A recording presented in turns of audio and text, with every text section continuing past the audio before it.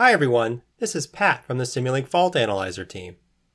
In this video, I'm going to show you how to use Simulink Fault Analyzer to model faults, measure fault effects, and perform an FMEA while leveraging simulation results. I'll be walking through one of our shipping examples, Verify Fault Detection Logic in Aircraft Elevator Control System. Feel free to open the example using the link below to follow along.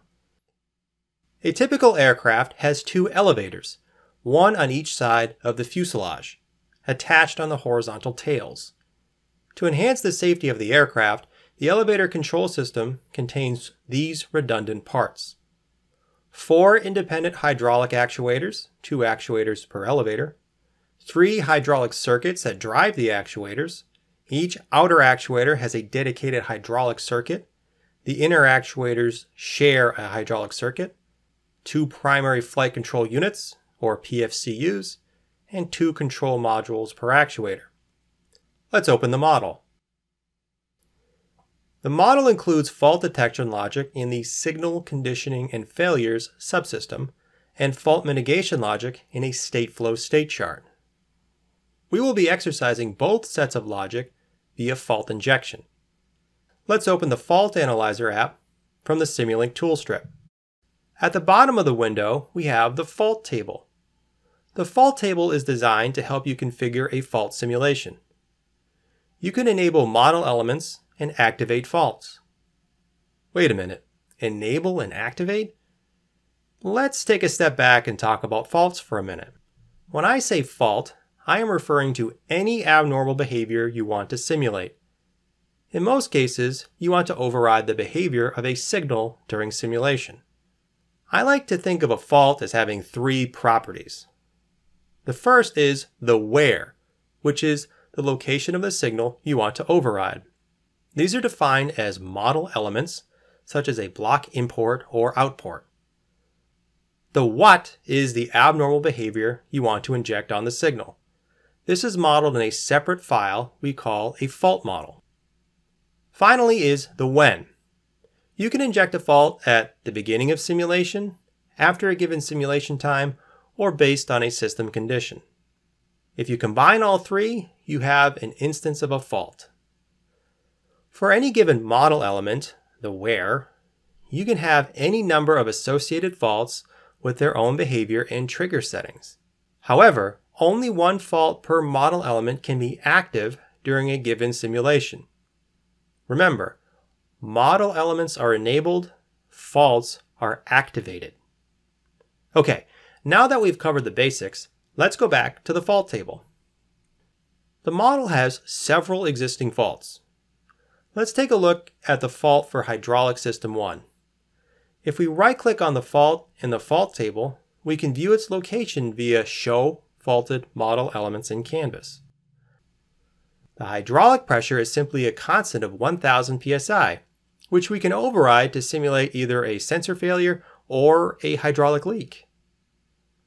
Let's open the fault behavior for hydraulic system 1 fault. The fault I want to inject is simply going to override the pump pressure for hydraulic system 1 to be 100 psi after 5 seconds of simulation.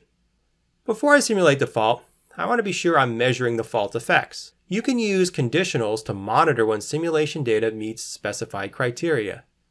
This example includes a set of conditionals which are used to analyze whether specific faults have been detected. The first conditional, hide sys1 fail, is simply checking if a fault has been detected for hydraulic system 1. Let's make sure this conditional is logged during simulation. I just wanted to stop and show a quick tip.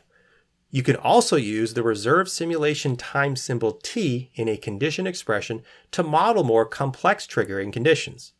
For example, you might want to delay a fault from being triggered until a given simulation time is passed.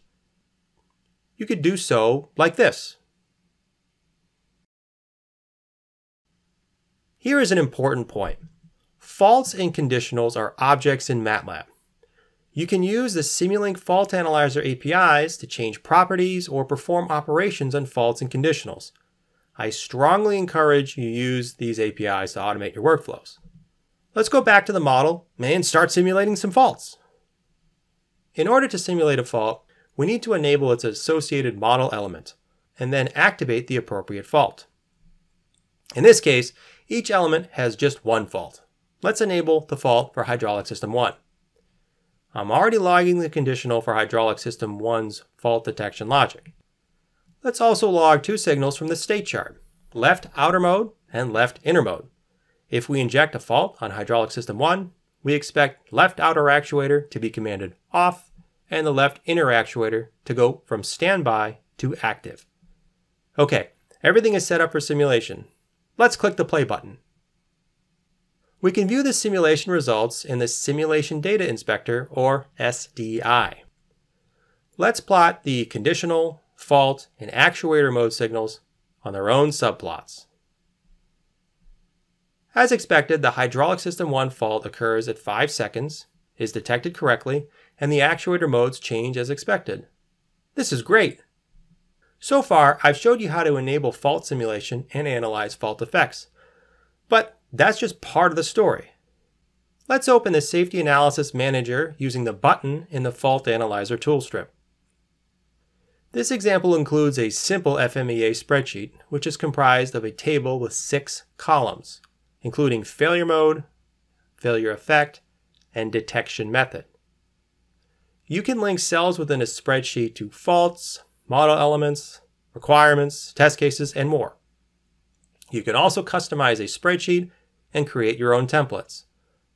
We've included a few templates for some common safety analyses to get you started. But my favorite feature is the Analyze Spreadsheet button.